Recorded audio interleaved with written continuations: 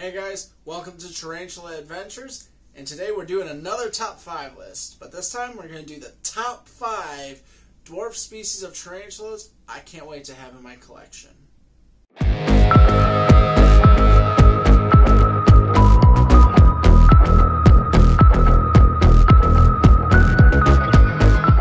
Alright, so first up we have the Cardiopelma mascata, or the orange flame rump.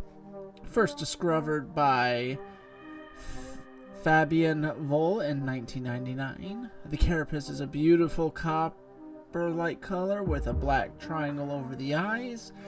They have been found in the eastern mountains and borders of Oaxaca City in Mexico, males typically live around 6 years, while the females can live about 16.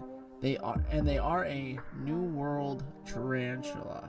Next up, we have the Cyriocosmus elegans, or the Trinidad dwarf tarantula, first described by Eugene Simon in 1889, can be found in Trinidad, Venezuela, and Tobago.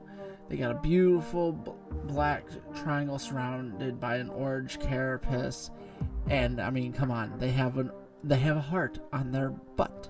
What's not to love and adore about them? Next, we have the Cyriocosmus leetzi, or the Colombian dwarf tarantula, first described by Fabian Vol in 1999. Hey, look at him go, just describing all these tarantulas. They can be found in Colombia. Females live around 5 to 7 years, while males only about 2 to 3.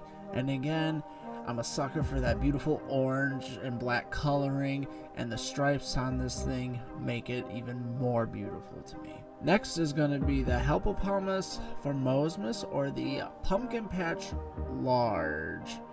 Was known as the Hapalopus species Columbia, first described by Anton Ausserer in 1875 can be found in Colombia, and they get that name from the orange and black coloring on their body. And honestly, the tarantula just is the embodiment of this Halloween for me. So I can't wait to have this one in my collection someday.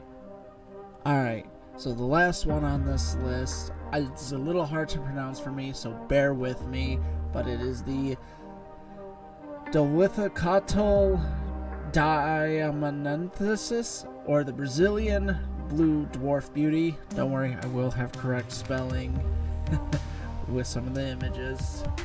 First described by uh, Rogério Bertani and uh, Tiago dos Santos in 2009. They can be found in Brazil. Females live roughly 12 to 15 years, males only about 3. They are heavy webbers, so that enclosure will be amazingly covered. And they look a lot like the GBB, just miniature. I mean, come on. Who doesn't love that?